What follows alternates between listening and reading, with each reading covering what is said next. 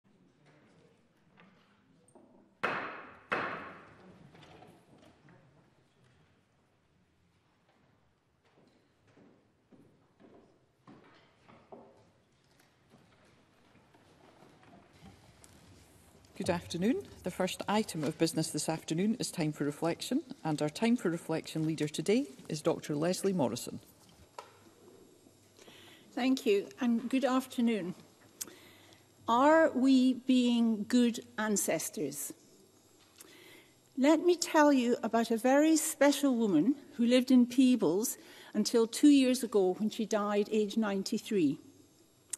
She lived her life as a Quaker – In the words of George Fox, founder of the Quakers, she walked cheerfully over the world, seeing the good in everyone and everything. She made everything she wore, she wasted nothing, her garden was loved and beautiful, and her gate and door were always open. She and her late husband were Mr. and Ms. Community, engaged, connecting, encouraging. In the 1980s, they started the Tweeddale Peace Group, and in 2021, we planted a tree on the banks of the River Tweed to commemorate that and to welcome the Treaty for the Prohibition of Nuclear Weapons. Our friend embodied Quakerism. She lived life to the full with curiosity, creativity, and kindness. She left a legacy of love and compassion.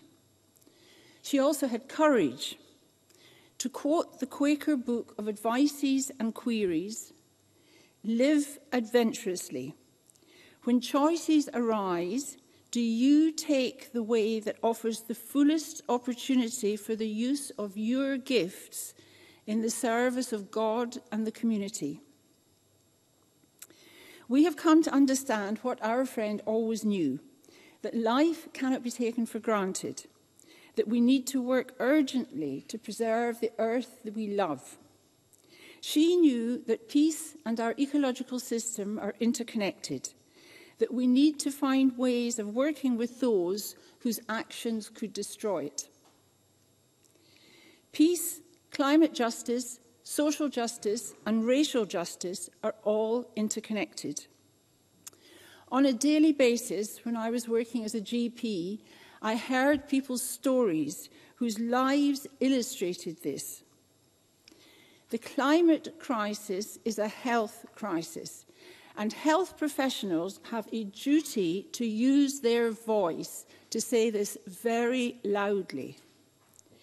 The duty of all of us, perhaps especially politicians, is to look at the many issues facing us in the world today through the lens of the climate crisis. Climate crisis is, climate change is the crucial issue of our time.